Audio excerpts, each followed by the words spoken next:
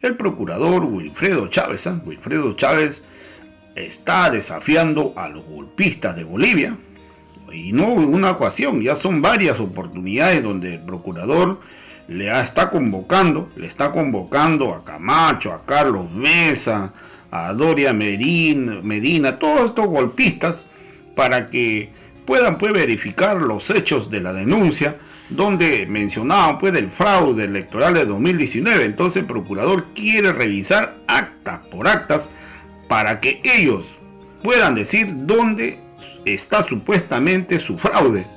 Entonces hasta el día de hoy, de acuerdo a la información que manejamos, está desesperado Camacho, eh, Carlos Mesa, están muy desesperados, igual Pumari, están desesperados, no saben qué hacer, pero ya lo ha dicho claramente el procurador Wilfredo Chávez. ¿eh? Van, van a contar las actas, o sea, todas las actas las van a volver a contar. Y con esto se cae el fraude electoral que planificaron los golpistas. No ha existido fraude electoral. O sea, se va a quedar sin argumento. ¿eh? Ojo. Y ojalá, la verdad, eh, ya nosotros también tenemos información de lo que están pensando los pititas, estos golpistas. Van a querer decir que, que eso no tiene importancia. Pero desde aquí eh, yo le pido, le pido al procurador Wilfredo Chávez, que le mande una carta al chistoso de el secretario de, de la OEA para que mande un vedor que convoque a organismos internacionales, a diversas universidades, que convoque a gobiernos, o sea, y que, le invite también a la Unión Europea, ¿ah? para que ellos verifiquen en situ realmente sean conmovedores. Imagínate que estás en una elección y, tienes a los vedores ahí. ¿Ah? Y que con documentos le inviten a Carlos Mesa y a Camacho. Con documentos, no de boca, con documentos. Para que de una vez deje claro que en Bolivia nunca existió fraude. Y hoy, la verdad, están muy preocupados los golpistas porque se le cae el teatro del fraude electoral en Bolivia. Todo lo que ocurrió en Bolivia nació en este montaje hecho por la Organización de Estados Americanos. ¿Ah? Ya hay pruebas de que en su momento se reunió el embajador de Estados Unidos con el embajador de Argentina para planificar el golpe. ¿Ah? Lo ha dicho claramente Luis Almagro de la Organización de Estados Americanos, que todo salió como ellos lo habían planificado. Entonces hoy nosotros siempre decíamos que la verdad tarde o temprano iba a salir a la luz. Y hoy con esto prácticamente pues se va a desmontar la teoría del fraude para que de una vez estos golpistas puedan pagar su delito. Porque lo que hicieron es un delito han traído abajo la economía de Bolivia. Si no hubiera existido ese golpe de Estado, hoy Bolivia ya estuviera llevando la delantera en Latinoamérica, porque Bolivia estaba despegando. Muchas obras de envergadura para sacar adelante a Bolivia y convertirlo en un país de primer mundo, se han quedado truncados. Hoy Bolivia está tratando de superar la crisis que le ha dejado en un año, ¿eh? imagínate ustedes, en un año, o sea, un año fue suficiente para que esta derecha boliviana destruyera la economía, destruyera las empresas bolivianas. Ustedes se imaginan en cinco años, ¿qué pasaría cinco años Bolivia en manos de la derecha?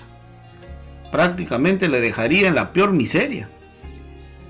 Con esta gente no hay confianza, por si en caso. ¿eh? La derecha nunca tuvo un plan, no tiene plan de gobierno. La derecha su plan es sacar, saquear, privatizar, robar. Ese es el plan de la derecha. Y eso hoy espero que el pueblo lo tenga claro en Bolivia.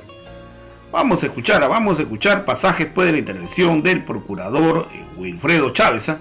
quien una vez más ha salido a desafiar Aló, golpista, ¿dónde estás Camacho? ¿Dónde estás Carlos Mesa que no dice nada?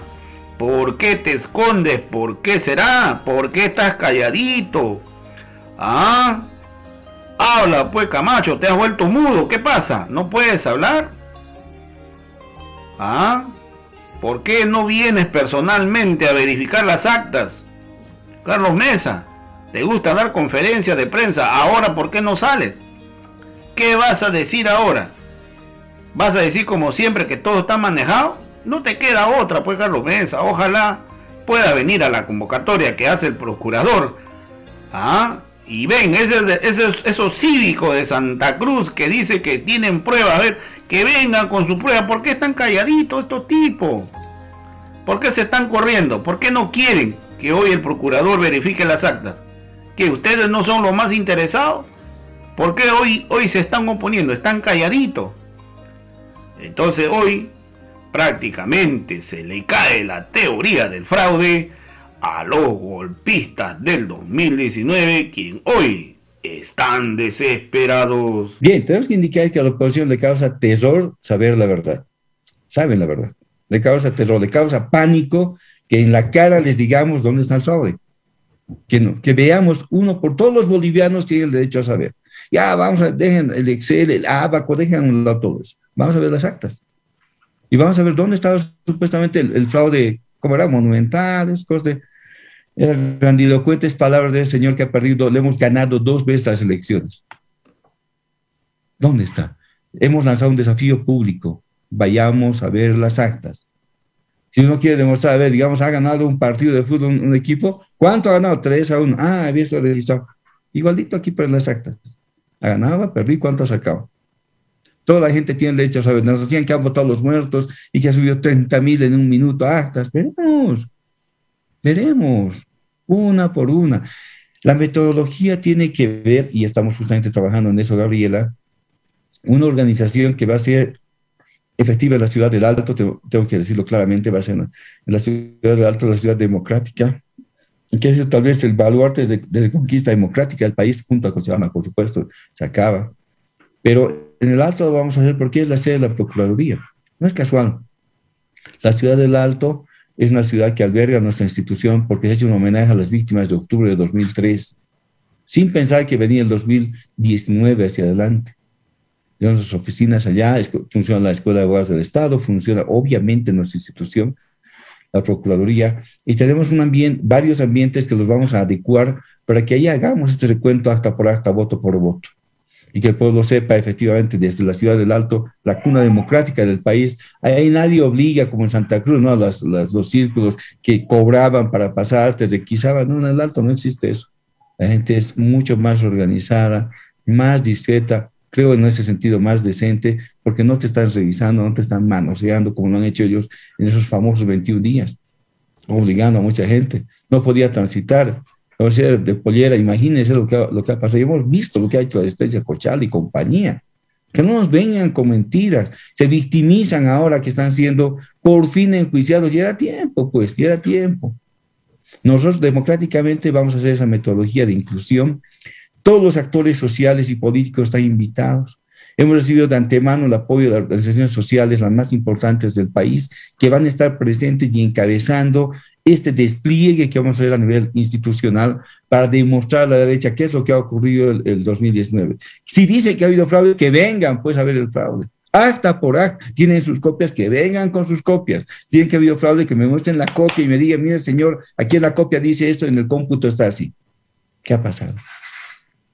Nosotros estamos dispuestos. ¿Por qué? Porque no tenemos nada que ocultar. Tenemos el derecho de saber la verdad los bolivianos y bolivianas. Y eso justamente es lo que ha lanzado este procurador, ha lanzado esa propuesta al país, ese desafío al país, y vamos a hacer eso. No nos vamos a quedar a medias, ¿no? no, ¿Para qué? Si algo vamos a dejar en esta, en esta consecuente tarea que nos ha dado nuestro hermano presidente, va a ser la verdad. Y esa verdad va a ser totalmente clara.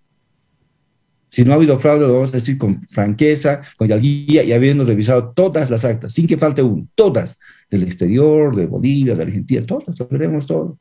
No decían que ha habido impugnación caligráfica, que alguien ha llenado dos, tres actas de la misma mano. Y veremos por qué, qué ha pasado. Que venga esa persona y nos explique qué ha ocurrido, si es que ha ocurrido eso.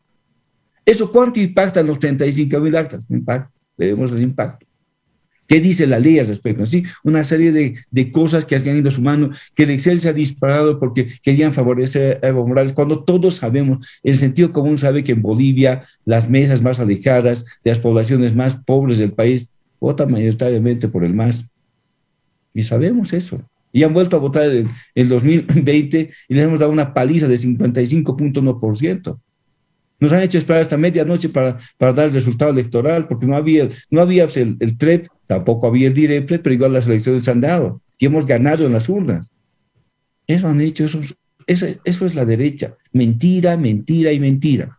Espero de verdad que ahora con esta acción que vamos a hacer nosotros, la metodología que le he indicado, donde todos están invitados, podamos aclarar el tema y vamos a demostrar a la derecha, aparte de que es una derecha golpista, que no llega al poder por las urnas, obviamente, le vamos a demostrar a esa derecha que nosotros teníamos la razón.